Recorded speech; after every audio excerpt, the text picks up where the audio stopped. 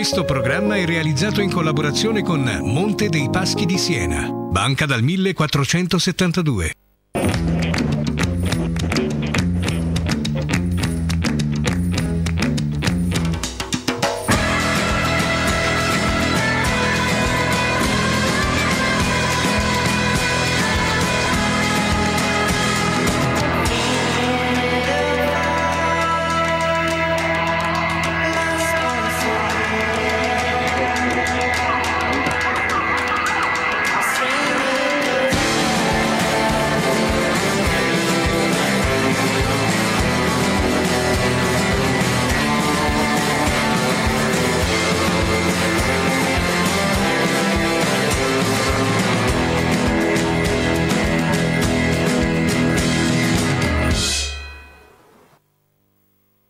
Bentornati a un nuovo appuntamento di Siena Risponde, eh, come sempre a metà settimana per parlare di tutti quelli che sono i problemi della città. Uno di questi riguarda il settore delle costruzioni, il settore edile perché è un settore che è un po' fermo in tutto il paese, mentre fino ad oggi era stato un po' il motore dell'economia eh, italiana. Cosa succede eh, a Siena e in provincia di Siena? Eh, ce lo facciamo raccontare con chi rappresenta i professionisti del settore perché abbiamo eh, Alessandro Ceccherini, buonasera, bentornato nei nostri studi, architetto eh, che rappresenta questa sera l'ordine degli architetti di Siena, così come abbiamo Massimo Bocci che rappresenta il collegio dei geometri della provincia di Siena, buonasera. Poi abbiamo Andrea Nepi che invece è il presidente regionale di CNA Costruzione costruzione, quindi ci potrà fare un po' il punto anche a livello regionale di quella che è la situazione che sta vivendo questo settore che a traino si porta dietro ovviamente eh, tantissimi tipi di figure, di professionalità e di lavoratori. Eh, per quanto riguarda invece eh, l'ANCE, l'Associazione Nazionale dei Costruttori Edili, Andrea Tanzini che è il presidente di Siena eh, è impegnato in una riunione e quindi non poteva essere qui con noi ma noi l'abbiamo sentito. Quindi cominciamo subito con Andrea Tanzini e sentiamo cosa ci ha detto rispetto allo stato di salute del settore edile, del rapporto che eh, il settore delle costruzioni ha con le pubbliche amministrazioni e poi poi gli appalti pubblici. Andiamo a sentire allora cosa ci ha detto Andrea Tanzini.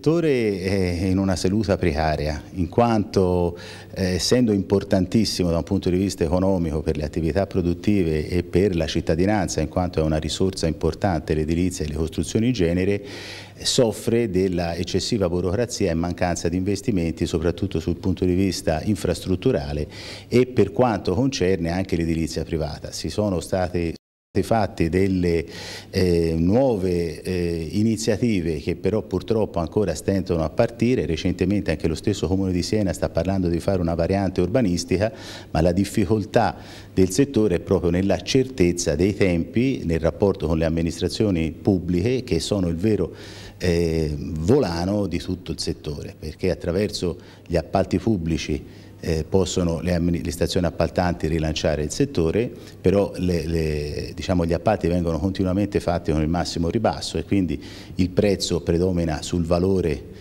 della costruzione dell'intervento e quindi noi puntiamo all'offerta economicamente più vantaggiosa proprio perché si dà valori e, e anche all'azienda, alla professionalità. Purtroppo questo non si riscontra nella realtà.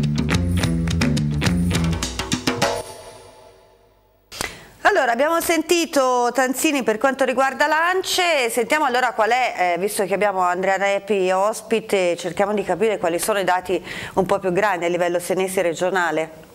Ma sì, i dati purtroppo non, eh, non, ci aiutano molto perché sono dei dati che fanno, cioè, ci aiutano molto nel poter visionare bene lo stato di salute del settore delle costruzioni Tutti noi sappiamo che il settore è in sofferenza ormai dal 2008 in maniera drastica, in maniera molto preoccupante, tant'è che a livello generale della Toscana abbiamo un saldo negativo di ben 2007 aziende solo nell'anno da 2013 al 2014, imprese che, dello settore delle costruzioni che non sono più iscritte in Camera di Commercio. Per quello che riguarda Siena abbiamo un dato di 134 imprese in negativo nel settore dell'artigianato delle costruzioni ma la cosa preoccupante è che il dato 2008-2014 sono meno 762 imprese su un totale di 3.831 imprese che erano iscritte, adesso ne abbiamo 3.069, mentre a livello toscano erano 59.255, adesso sono 57.248 appunto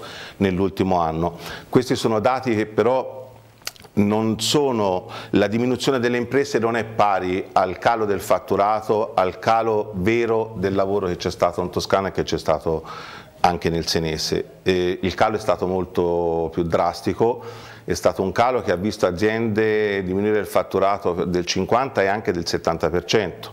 Ci sono aziende che sono state costrette a chiudere, in Toscana chiude mediamente 4 imprese al giorno nel settore delle costruzioni e sono dati veramente preoccupanti. Questi dati eh, li manifestiamo continuamente in tutte le nostre occasioni politiche, televisive, giornalistiche per far capire in che condizioni versiamo. Noi cosa possiamo fare, dove possiamo andare? Qui eh, abbiamo la richiesta delle nuove costruzioni, considerate che è stato un calo dal 2008 al 2014 del 49%. Nel... E, e possiamo stimare quante famiglie si ritrovano senza lavoro? Perché un meno 20% sulla provincia di Siena, un meno 19,89 che è quasi un meno 20% con eh, 762 imprese che non ci sono più significa comunque almeno il triplo, perché ogni impresa almeno due persone forse a lavorare ce l'ha. Sì, la media è tra circa 2,5 addetti per ogni, per ogni, impresa, naturalmente il calo dell'occupazione è stato un calo molto grave. Un calo cioè 2.000 famiglie senza un lavoro? Sì, sicuramente c'è stata difficoltà di ricollocamento nel settore delle costruzioni, anche perché è un settore che non, chi fa questo lavoro difficilmente le maestranze riescono a trovare occupazione di altro livello. Di altro livello. Eh, a livello regionale, che è il dato che conosco meglio, consideriamo che si parla di circa 50.000 occupati in meno nel settore delle costruzioni dal 2008 ad oggi. Questi eh, naturalmente nelle proporzioni di, che ci sono in tutte le città. Non c'è stata una città che ha avuto un calo o un calo inferiore più di altre, più o meno è equivalente Omogeneo. in tutte le regioni. Sì, esatto. Spesso faccio dei servizi sulle scuole, sui giovani che escono magari dall'istituto Bandini dove si diventa geometri, la scuola per eccellenza no? dei ragionieri e dei geometri, anche se oggi ovviamente sono scuole molto più moderne eh, ed evolute con eh, tante specializzazioni, ma insomma eh, cosa gli diciamo ai ragazzi che da grandi vogliono fare geometri? Di non pensarci neanche oppure no? Massimo Bocci. Vabbè, io intanto ho mio figlio che fa prima carta al Bandini, quindi sono fiducioso. Eh, cosa dobbiamo dirgli? Ma eh, bisogna sperare che questo eh, in un tempo ragionevole possa invertirsi, possa finire, ovvero che questa crisi non continui il precedizio a ribasso. Ma ci sarà il Collegio dei Geometri ha fatto un po' il punto sulla situazione dello stato di salute dei, dei geometri del nostro territorio lo stato di salute dei geometri non è molto diverso dallo stato di salute delle imprese perché dove non c'è lavoro per le imprese non c'è lavoro per il geometra ovviamente. Che succede? Noi abbiamo una diminuzione di iscritti non rilevantissima, abbiamo una grande diminuzione di fatturato, ovvero quello che diceva Andrea prima, lo chiamo Andrea perché ci conosciamo, quello che diceva Andrea prima eh, vale per noi, ovvero noi abbiamo il fatturato del professionista si è ridotto fino al limite di sopravvivenza insomma in tanti casi, quindi generalmente il professionista aspetta che questo periodo critico finisca o abbia un'inversione di tendenza, nel passato è già successo, eh, che crisi anche importanti poi hanno avuto evoluzioni positive e questo lo speriamo vivamente tutti. Speriamo che la speculazione finanziaria che ha portato in parte questa crisi si inverta la tendenza e riporti la moneta verso i beni materiali e quindi anche verso gli immobili, questo è il nostro auspicio, di più oltre che sperare non possiamo fare.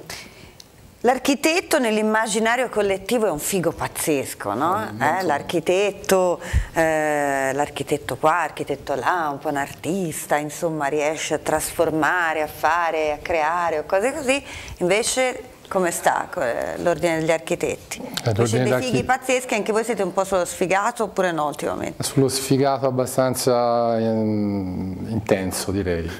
Non, cioè non voglio parlare per tutti perché poi tanto... Eh, Vabbè ma i casi Diciamo che cioè, in linea di massima, posso fare un esempio. Il lavoro è calato sicuramente anche sì, per voi. certo, è, è tutto l'indotto dell'edilizia, noi siamo chiaramente professionisti che non dico per la maggior parte perché poi gli architetti si differenziano in tante specializzazioni. Sì. Però quelli che tendenzialmente la maggior parte lavorano come liberi professionisti e lavorano appunto nel settore edilizio, quindi quello del recupero, quello dell'ex novo, eh, oggettivamente sono in, gra in, grandi difficoltà, anche chi prima aveva studi di una certa dimensione, era piuttosto diciamo, conosciuto, è entrato in crisi e, e questo è, è è un dato di fatto. Considerate che a livello nazionale gli architetti avevano nel 2007-2008 una media eh, di guadagno intorno ai 35 mila euro, 35-36 mila euro, adesso la media nazionale è scesa a 16-17 mila euro. Ma questa è una media, quindi potete immaginare che eh, molti di noi hanno difficoltà ad arrivare in fondo al mese. Allora, abbiamo visto che la situazione quindi di questo settore che invece dovrebbe essere molto, molto importante perché porta con sé poi eh, tutto, porta con sé tutto, il settore delle costruzioni non, eh, non funziona. Quindi eh, la causa probabilmente oltre alla crisi economica sembra essere la burocrazia con qualcuno di voi ne parlavo al telefono prima di incontrarsi qua e quindi abbiamo appunto parlato proprio di questa parola eh, terribile, ehm, burocrazia che rappresenta una sorta di freno a mano un po' per tutto, perché si parla molto anche di fare ristrutturazioni, eh, di risistemare le case, renderle energeticamente migliori, quindi sono tutte cose che eh, potrebbero comunque in un modo o nell'altro far muovere un po' al settore, ma eh, di fronte a quelli che sono poi tutti i limiti imposti dalla burocrazia, eh beh, ci passa anche un po' la voglia. Allora ne parleremo tra pochissimo, subito dopo la pubblicità. Restate